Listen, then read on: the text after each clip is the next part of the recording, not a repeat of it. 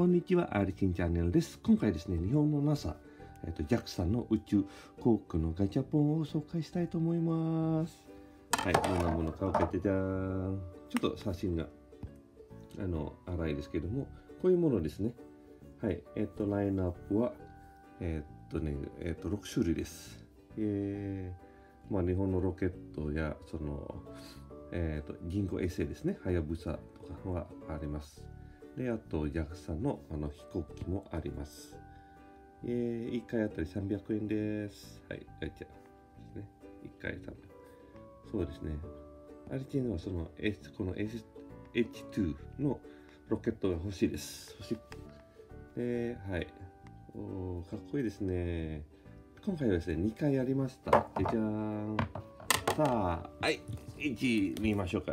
まあ、透明だからわかります。1、2、3。お、お、1個、はやぶさ2です。やったー。15衛星です。はやぶさ2です。はい、もう1個は。じゃじゃーん。お、なんか、飛行機ですね。飛行機です。や、お、飛行機です。イエーイ。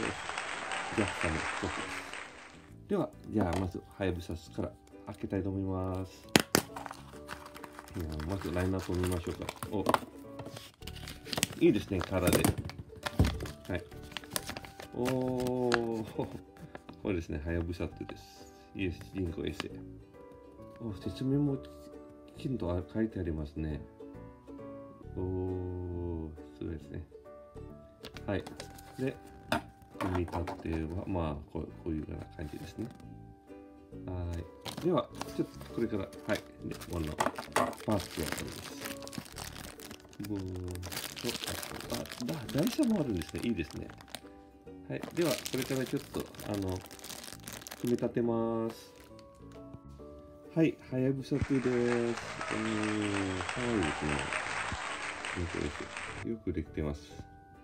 えー、はい、はやぶさ2です。総惑星探索ですね。はい、ソーラーパネルです。そう。おーちゃんと、えー、綺麗に、ちょっと細かいところまでパーツが再現されていますね。えー、おお、いいですね。これ気に入った。はい。えー、はやぶさとです。あ、かわいい。いいですね。では、これから2個目を開けます。はい。えっと、1、2、3、これ何何の飛行機だ？まず説明してみましょう。おー、JAXA の飛行機ですね。秘書。実験用の航空機ですね。お、はい。実験用の飛行機ですね。これがもともと、はい。もうアメリカのチセスナ社のビジネスジェットを、まあ、改装したものですね。2012年から、えー、と飛行実験をやってます。おなるほどですね。えービジネスジェット機です。セスナの元。はい。で、実際写真はこれです。パイロット2人です。まあ、最大12人まで。はい。じゃあ、でじゃあ、パーツはこれですね。えー、いいですね。ちょっと組み立てます。はい、秘書です。おー。かわいいですね。えー、JAXA と書いてありますね。もう、日本、えー、そうですね。実験、実験用の飛行機ですね。